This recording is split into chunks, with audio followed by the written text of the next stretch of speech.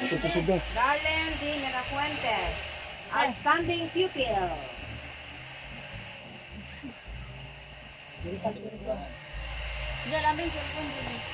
She will also receive a medal for Best in Extracurricular, Best in Writing, Best in Attendance, Loyalty Awardee, and she is also a ribbon recipient for Most Attentive, Most Behaved, Most Courteous, Most Diligent, and Most Thoughtful. Palakpakan pagkadaghan. Oh, pagkadaghan.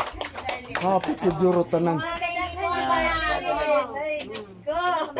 Alasan ka, Daniel. Ano ka taga ni mo, Daniel? Best in writing di siya na. Ikaw, hindi ka nakakuha ng best in writing. Hala, mapuno ang layog sa bata, oy. Okay. Picture si mamang. Sabuhan na ng mangho, ang anak.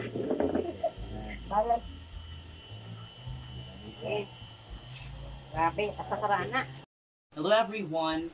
As a teacher, I see the advantage of having house-to-house graduation. Seeing na yung ating mga kabataan ngayon ay talaga namang sobrang excited to receive their medals, certificates during graduation. And it is a good initiation para sa lahat ng mga schools out there to do the same thing na maipadama natin sa ating mga kabataan yung konsepto ng graduation in just a very simple way.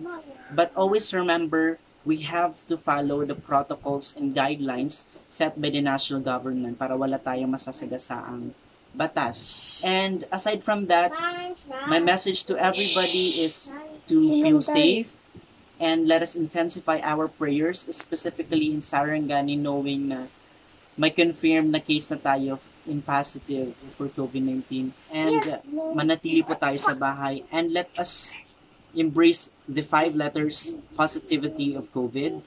It, let us be courageous, let us be optimistic, let us be visionary, let us be inclusive, and let us be different. So, thank you so much. God bless.